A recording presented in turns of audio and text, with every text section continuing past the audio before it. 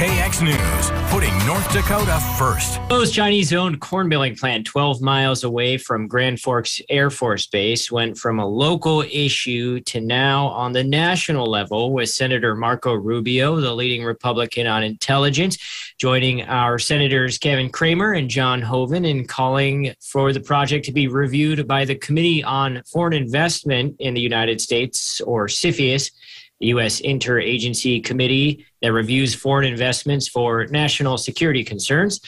Congressman Kelly Armstrong joins us now to discuss the Fufeng project. Congressman, thank you for being here.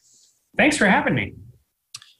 Now, last July, I talked to you about the Securing America's Land from Foreign Interference Act that amendment would ban China from buying more U.S. farmland and exclude Chinese land from receiving farm program payments. During that interview, you told me that there's no real distinction between large Chinese businesses and the Chinese Communist Party. They're, quote, intertwined completely. Given your position, do you now oppose the Chinese company Fufeng Group locating a facility near Grand Forks Air Force Base?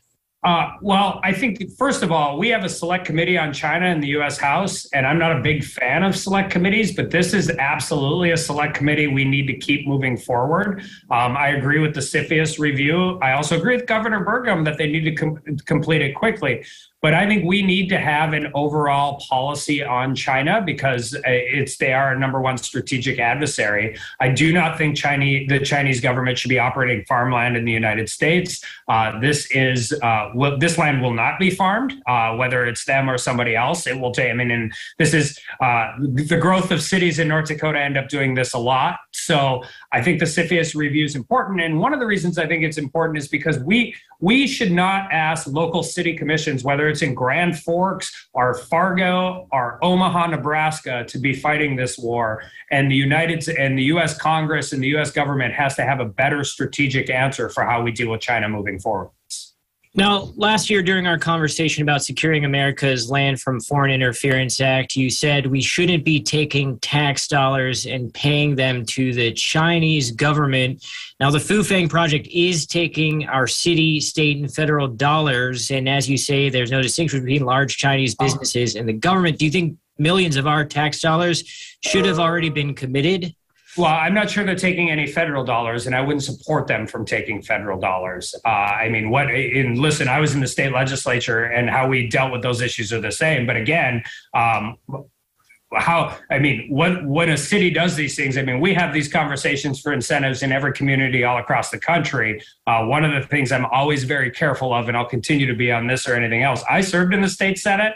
Um, there are things that is the role of the state government. There are things that are the role of the community government, and there's things that are the role of the federal government. I don't think they should be getting any federal dollars whatsoever. And they are they are getting federal dollars. Um, so in our interview again, you pointed out China's buying of Smithfield Foods in, in Sioux Falls. And, you know, it's a project of another example of China producing their own commodity in America. Again, are, you know, is the U.S. allowed to buy land in China and produce commodities and export it back to them? Well, one, they don't have a, enough land to feed their own people. I don't think there's a whole lot of U.S. companies that would be interested in doing business in China. But as, as Smithfield, they, I mean, they've started buying. Um, I mean, it's a publicly traded company and buying shares of those things. And yeah, I think we should have more robust conversations about all of that. But you can't. I mean, we should have a serious and clear policy about how we're going to deal with this moving forward, and we don't. And that's a dereliction. And like I said, it's one of the few things that I think that we should continue in the U.S. House as a select committee, and it's how we deal with China moving forward. And we have to have that conversation. All right, Congressman Armstrong, thank you very much for your time. You bet.